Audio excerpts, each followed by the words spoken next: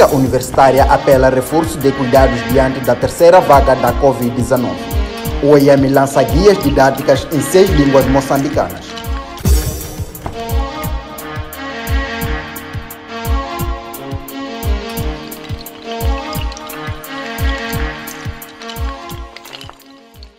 Saudações. Seja bem-vindo a mais uma edição do Jornal da Comunidade. Clínica Universitária apela ao reforço dos cuidados diante da terceira vaga da Covid-19. Com a chegada da terceira vaga da Covid-19 e a alta transmissão que se registra no país, a Clínica Universitária da UEM reitera a necessidade de todos melhorarmos a implementação das medidas de prevenção para evitar as piores consequências da nova variante. O vírus não, so, não, não, não se, se, se, se transmite pelo ar. O vírus se encontra colado em todas as superfícies. Então, às vezes esquecemos um pouco e achamos que porque temos uma máscara que nos protege do, o, a, do ar contaminado, esquecemos que as superfícies também estão contaminadas. Então, por onde quiera que nós passamos as, ma as mãos, por onde quiera que nós tocamos, nós levamos o mesmo vírus para nosso organismo. Então, não só o uso da máscara é o que estamos a apelar, mas também estamos a apelar a higienização das mãos é extremadamente importante, além como o contato físico de um indivíduo com outro. E essa vai ser a única maneira de nós travar um pouco esta doença. Que esta doença, em esta vaga, estamos ver que está a ter uma mortalidade muito alta. Muito alta.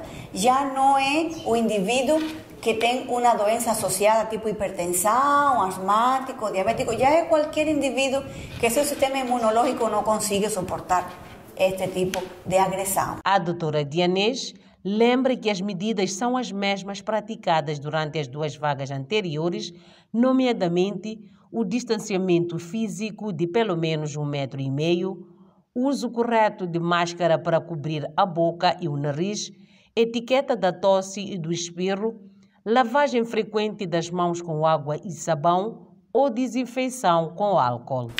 Universidade Eduardo Mondlane lança guias didáticas sobre a educação bilíngue.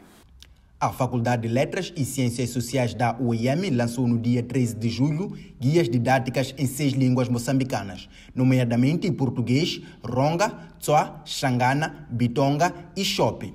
Os manuais têm como objetivo orientar os professores na abordagem dos aspectos didáticos de funcionamento e organização do ponto de vista gramatical e estrutural da linguística banto. Apresentam-se alguns elementos uh, sobre a educação bilíngue, é? com enfoque para a gênese da educação bilíngue no nosso país e não só os desafios que esse, esse sistema de ensino enfrenta, mas também um chamamento eh, que de alguma forma trans, transforma-se em, em, em, orientação pedagógica sobre o que, que o professor pode e deve fazer na sala de aulas quando estiver a trabalhar no ambiente ligado à educação bilíngue. São glossários que, que abrangem a, a parte das, das, das humanidades, que são línguas e literatura, mas também estende-se para ciências naturais, ciências sociais, matemática, biologia, zoologia, etc. etc. Esta última parte é muito importante também, porque quando os professores fazem a planificação das aulas, têm lá um espaço para consultar, por exemplo, como é que se diz fotossíntese, como é que se diz cadeia alimentar, como é que se diz fator, não é? Tudo isso no âmbito dos professores poderem conhecer a terminologia técnica que deve ser usada para o ensino-aprendizagem. As guias apresentam atividades didáticas sobre a cultura e saberes locais para serem trabalhados dentro e fora das salas de aula. O projeto de educação bilíngue, com duração de um ano e quatro meses, foi realizado numa parceria com a Universidade de Vigo, na Espanha. Publicação de proceedings da Conferência AFRIC da UEM. A Conferência AFRIC 2021, que decorreu entre os dias 10 e 12 de março, com o lema Inclusão e Empoderamento na Universidade Eduardo Mondlane, lançou uma publicação com os melhores trabalhos apresentados durante o evento. O volume inclui 11 artigos longos, 8 artigos curtos, 3 resumos estendidos ou posters, um painel, workshop e consórcio. Na área de investigação, na área de treinamento, há cada vez mais aspectos tecnológicos incorporados na, na, na, na, na saúde. E aqui eu trazia a componente de como é que estas máquinas, esta parte de tecnologia pode ser utilizada pelas pessoas com, com, com alguma deficiência. Portanto, hoje em dia é possível, através dessas máquinas, nós trazermos uma saúde com maior, com maior qualidade de vida para as pessoas que eu considero que estão impedidas de estarem totalmente inclusivas, como alguns de nós que, que estamos. A tecnologia já permite isto. E na área da saúde vê-se cada vez mais o mesmo incorporando para, para as análises.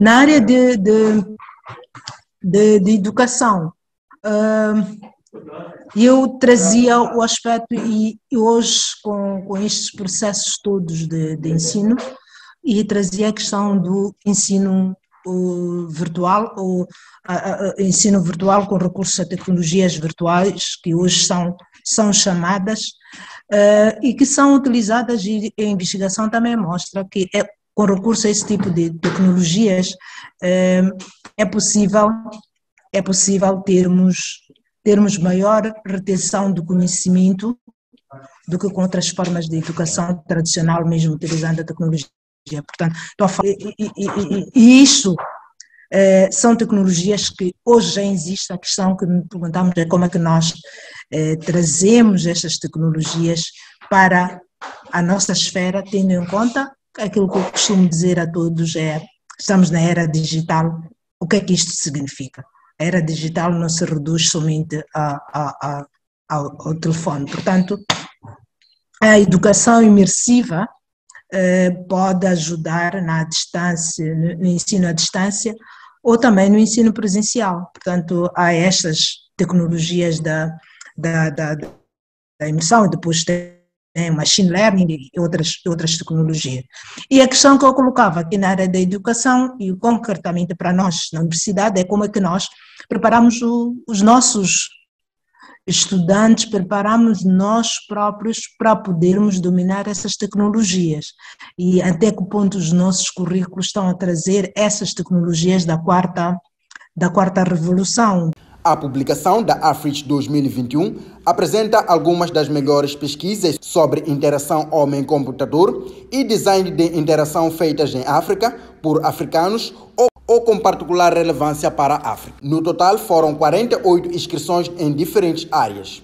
14 países participaram do encontro, dos quais 10 são países africanos. Comunidade universitária volta ao ensino virtual.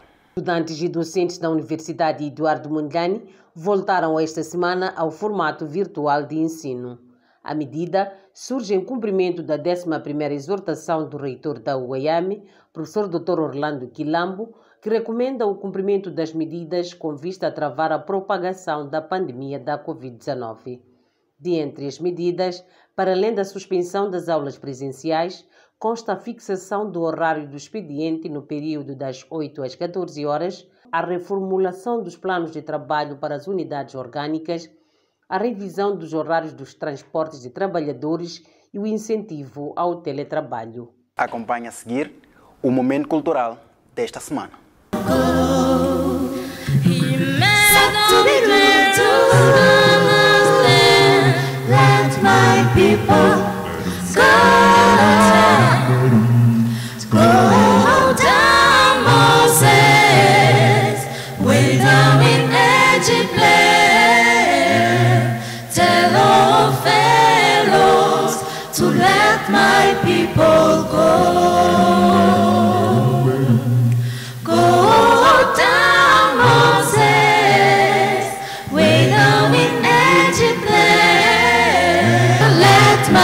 people go.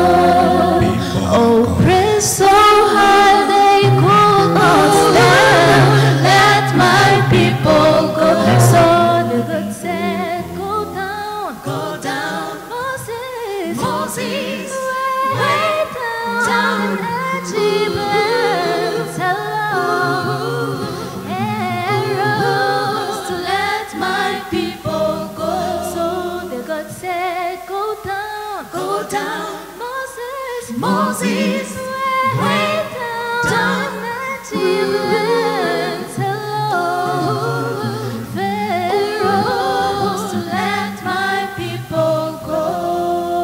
O Jornal da Comunidade termina por aqui.